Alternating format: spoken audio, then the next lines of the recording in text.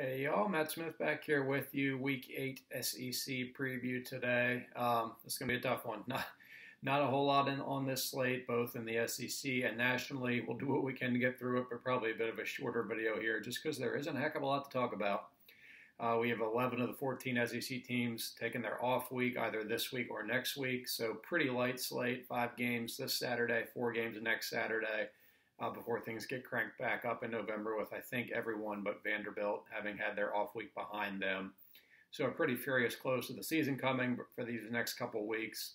Uh, some pretty light slates and a, and a lack of appealing games. So I'm going to start with the LSU situation. Obviously, we couldn't touch much about that on Sunday as Ed Orgeron was not fired until late Sunday evening.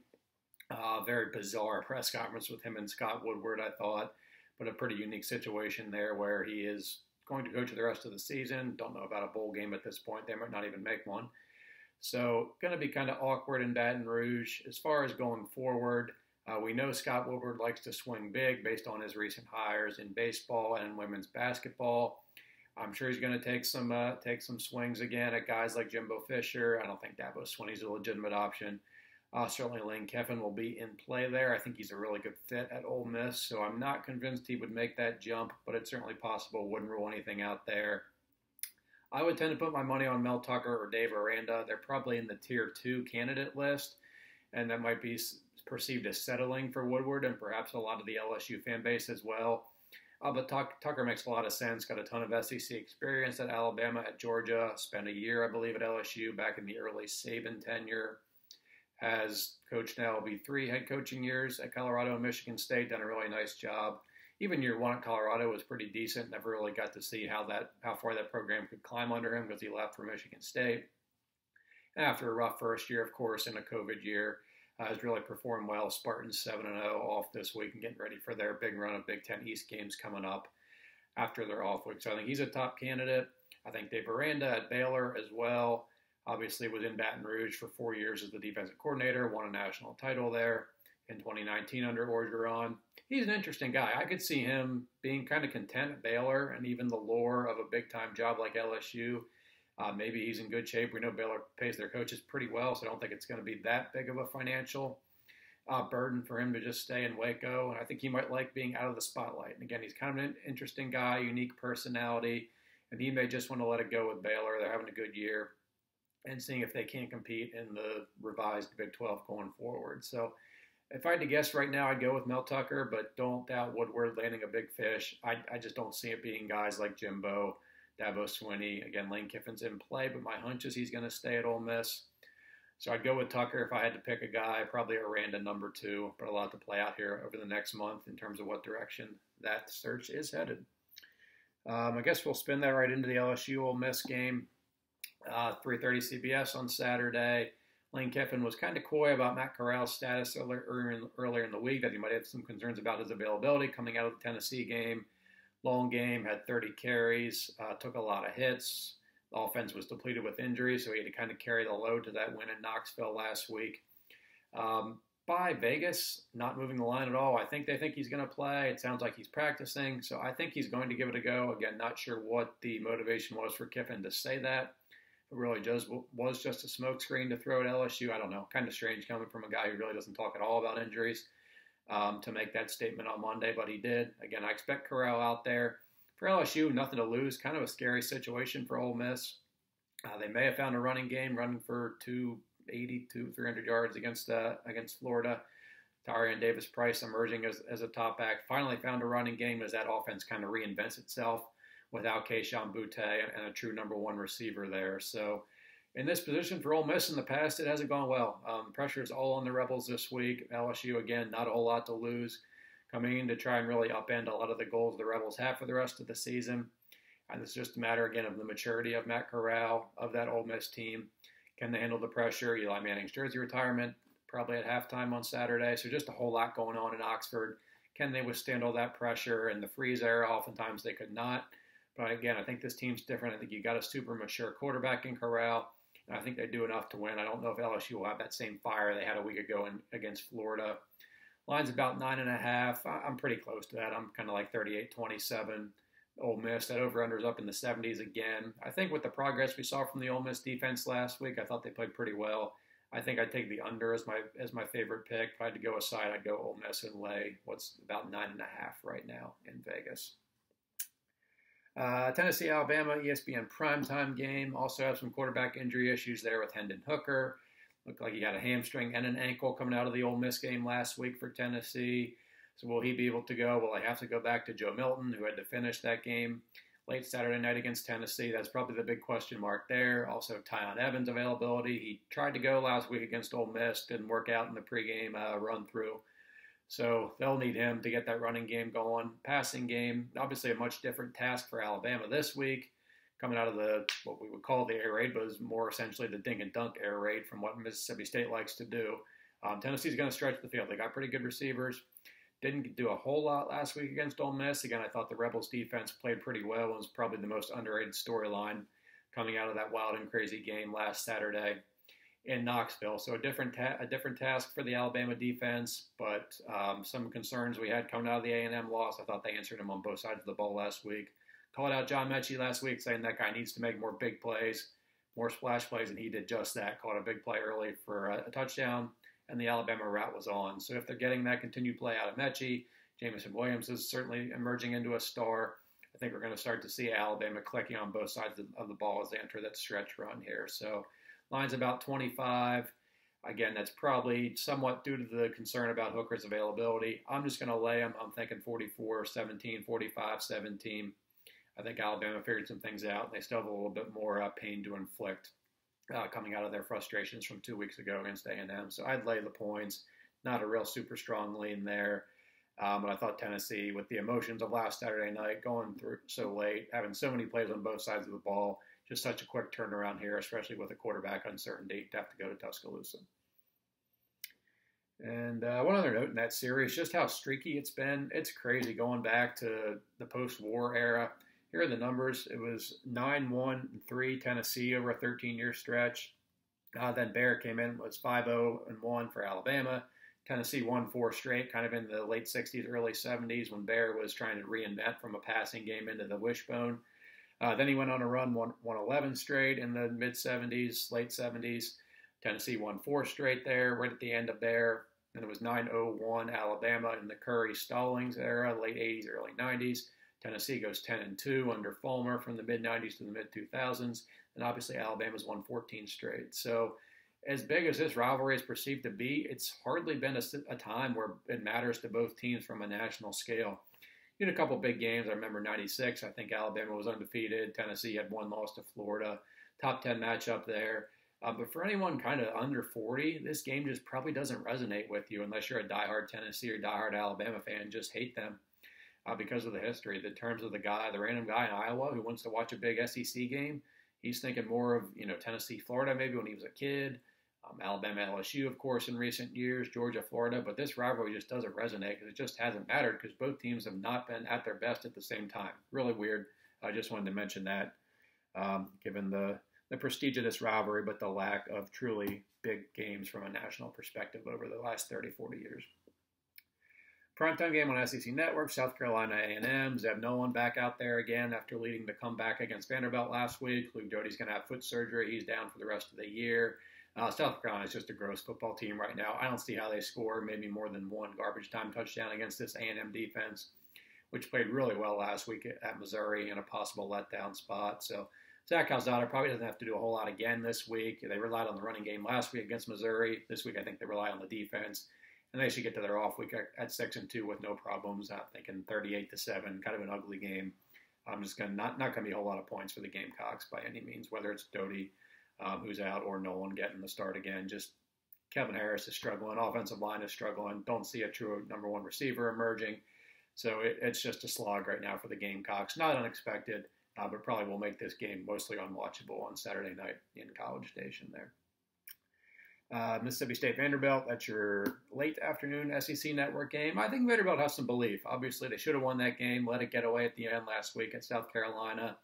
This was only a one score game last year in Starkville when they played 24 to 17. We kind of know Mike Leach's history of screwing around with bad opponents. I think Vanderbilt's in a stretch here, starting with last week. They have Mississippi State at home on Saturday, of course. They'll host Missouri next week before their off week. I think they're in a stretch here where, hey, if we can find an SEC win, it's going to happen here in these next couple weeks. So I think they're going to be dialed in here for two home games. I think they got a real shot. Uh, the line's 21. I think that's way too many points given Will Rogers' injury, uh, the, the inconsistencies from this Mississippi State offense. And again, I think we'll see some belief from Vanderbilt. So I'm going to take those points. I think Vanderbilt wins the game, but I think it's maybe 24 14, 28 14. I think their defense has taken some strides over the past couple weeks. Mike Wright's going to start. Maybe he can inject some life into that offense, um, which has a pretty tough task against a, a, stout Bulldogs defense. But again, I think Vanderbilt will play well, given all the factors. Mississippi State coming off the Alabama game. I think Vanderbilt hangs, so I felt pretty comfortable taking those 21 points. Um, and the Commodores at least make this interesting into the second half. And the early SEC network game, Arkansas Pine Bluff at Arkansas, first in-state opponent in about 75 years for the Razorbacks.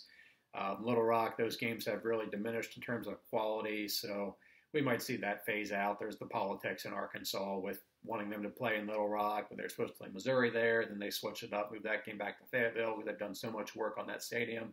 Why are you not playing all your SEC games up there? It makes a ton of sense. So um, Little Rock's kind of just being left with junk for the short term. It might be out of out of the picture completely in the long term. But uh, so in Little Rock, there, Arkansas Pine Bluff will bad, bad FCS team one and five, and just to get right a couple weeks here for the Razorbacks after a brutal stretch of their schedule uh, with A and M, with Georgia, Ole Miss, and Auburn. They'll get right this week with an easy win. Get the week off next week.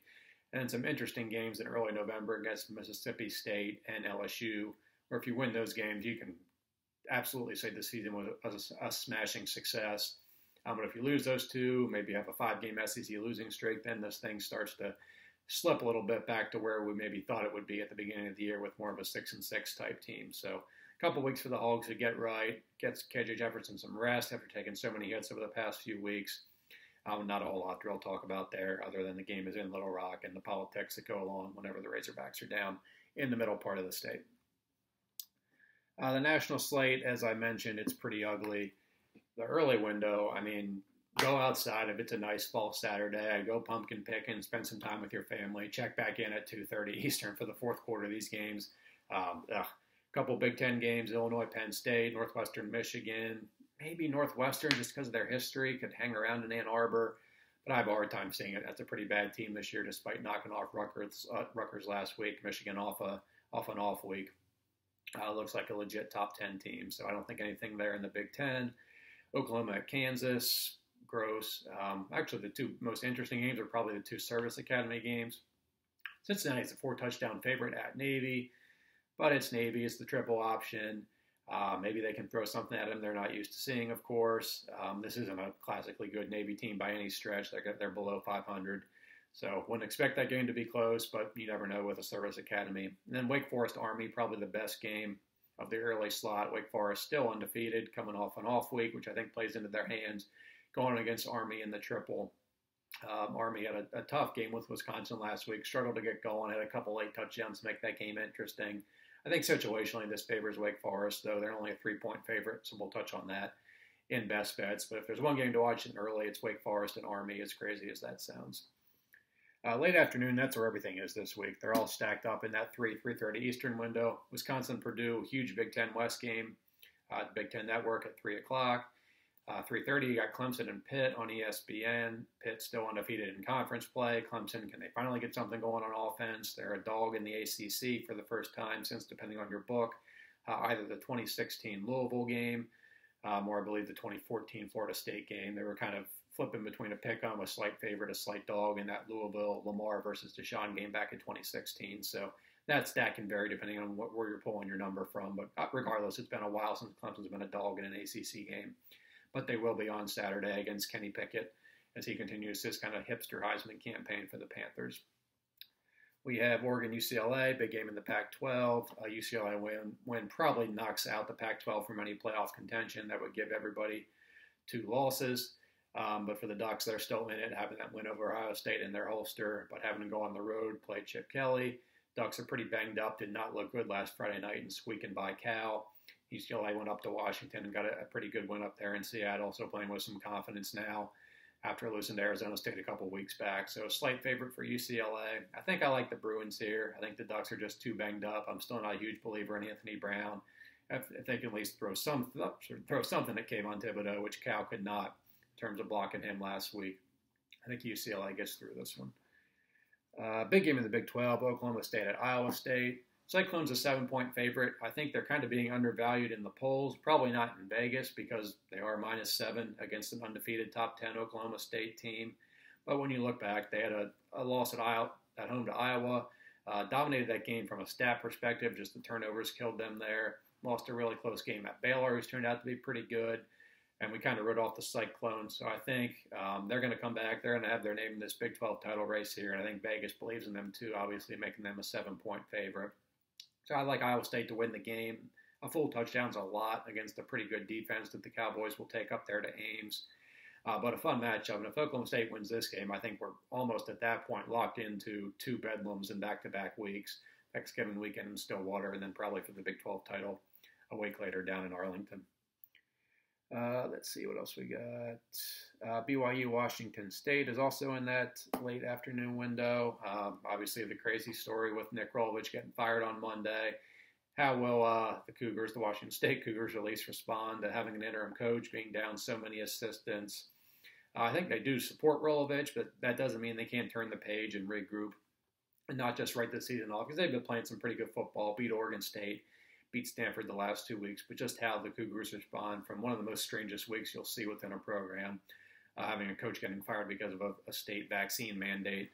Um, just crazy. So BYU obviously slumping with two losses in a row, trying to uh, right the ship up in Pullman on Saturday. Uh, let's see, LSU and LSU Ole Miss, of course. That's also at 3:30. So again, everything is kind of condensed in that late afternoon window. We talked about the early afternoon window being gross, and the prime time window you have Tennessee, Alabama. It's Tennessee, Alabama. We don't expect a competitive game there. Ohio State, Indiana. I doubt they put the uh, entertainment value on the screen that they did a, a, year ago in Columbus. Hoosiers are struggling right now without Michael Penix. I think the Buckeyes should roll there in Bloomington. Uh, Mountain West, San Diego State, un- still undefeated. They're going on the road to Air Force. So a potential slip up there uh, for the Aztecs, who them ripe for the pick and Barely got out of San Jose last week in double overtime. Back on the road this week kind of seems like this might be the week the Aztecs take their first loss up in Colorado Springs. Uh, USC Notre Dame are going to play a football game. Again, kind of like Tennessee Alabama, it just seems like not a lot of those games have mattered where both teams are good at the same time. Uh, USC obviously dominated the 2000s when Notre Dame was down. Notre Dame's been really good for the last seven or eight years. That's when USC has kind of fallen off the map. So, what USC team is going to show up? They've been better on the road this year, been blown out in three Pac 12 home games, both teams off last week. Who knows what to expect? Notre Dame's the better team, I think, but what are they going to do at quarterback? Will they be playing musical chairs again? So, a whole lot of uh, uh, uncertainty, I think, for both teams coming out of the bye, but it's just hard to trust USC at all right now. And the weather looks pretty chilly, so possibly another advantage for Notre Dame, about a seven point favorite there in South Bend. NC State, Miami, kind of an interesting game in the ACC. Do we believe in the Wolfpack now? Real nice win last week up at Boston College. Have the Clemson win. If they do go to Coral Gables and win, I think that sets up probably NC State Wake Forest in November. Uh, and Winston-Salem is probably a de facto ACC Atlantic game, particularly if Clemson does take their second conference loss uh, on Saturday in Pittsburgh. Utah, Oregon State, good Pac-12 game. Uh, Utes are still undefeated in Pac 12 play, believe it or not. Took those two early losses in the non conference, kind of wrote them off as a, a strange, lost, underachieving year for Kyle Whittingham's programs. Uh, we spoke too soon. They've rallied undefeated last year, or right now. Huge comeback win last week against Arizona State, and a tricky game now up at up in the Corvallis against a fresh, rested Oregon State team who was off last week. And uh, no late night games. There's no TV games after 7:30 Eastern. You'll see you can find New Mexico State and Hawaii late night on a, on a stream if you want to, uh, but no TV games. Again, just a weird week from a schedule perspective. A being so light, and B having everything condensed in the late afternoon window. So not a great viewing experience on Saturday. Make sure you're tuned in for the late afternoon games. But again, outdoor activities, even a dinner. I'll sign off on those this week. I don't usually do that in the fall, but uh, it's pretty meager this week. So again, focus on your late afternoon window in terms of where all the action should be on Saturday. A couple best bets. I think we've touched on most of these games at least briefly. A couple Big Ten games. I like Purdue getting three points at home against Wisconsin. I think they're a pretty good team. Anytime I can get points with Wisconsin um, and at home, I'm good. I just don't think the Badgers offense can score probably more than 20 points. Love what Purdue did last week at Iowa. David Bell's a stud. Um, so I'll take the Boilers getting three points against the Badgers in probably a Big Ten West elimination game there. Penn State 23 and a half at home against Illinois. I don't know if Sean Clifford's going to play. I thought he was. Now I'm thinking he, they might not and hold him out another week with the Buckeyes on the docket next week. But still, Illinois is a bad football team. Bret Bielema called out some of the talent on his roster earlier this week. I don't know why he did that. That makes no sense. Um, really bad look for him. So 23 and a half, a decent number um, from a Vegas perspective, under just under a key number of 24. I'll lay lows and I'll take Penn State coming off the off week to uh, again take out some frustrations from that loss at Iowa a couple weeks back. Uh, game we just touched on in the Pac-12. Oregon State is plus three at home against Utah. Again, kind of like Purdue, I kind of like that spot. Oregon State rested. Again, Utah come down off the high of a very emotional win last week against Arizona State. Up at Corvallis, potentially some weather there. I'll take the Beavers getting a full field goal at home. Friday night, again, we didn't touch on Arizona and Washington. I hate betting on Arizona at all because they're so bad. 18 game losing streak, but they are getting 18 points and playing at home against Washington, who has a kind of like Wisconsin. If I can get that many points, especially at home against Washington, I'm going to take them. So I might look like an idiot when this is 35 to 3 Washington. Um, but I'm going to take the 18 in Arizona. Doubt they get that first win in more than two years, but I think they can keep this thing close. And Wake Forest minus three at Army again situationally. I get the Army factor. They've played Michigan, Oklahoma, Wisconsin all tough the past couple years in these spots. But I think Wake Forest having the off week, I, I think they can score enough. Or even if they are having some issues uh, defensively and with time of possession, I think they'll do enough to win to stay undefeated. So Wake Forest minus three on the road up in West Point. And I think that wraps it up. So we'll see what happens. Again, not optimistic about a lot of curveballs this week. We probably will get some fun games, just not of those. Well, anything more impactful than bowl positioning. How about let's enjoy it. Again, we don't have that many of these Saturdays left. So I'll enjoy it, but again, the focus should be on that late afternoon window where all the uh, the action should be from at least a national conference title playoff perspective, I would say. So thanks so much for watching, guys. Uh, please like and subscribe to the channel. Reach out to me on Twitter, of course, at Matt Smith CFB. Written preview will be up late Wednesday night or early Thursday morning on SouthernPigskin.com. Appreciate all the feedback, guys. I will talk to you for the Week 8 recap on Sunday. See y'all.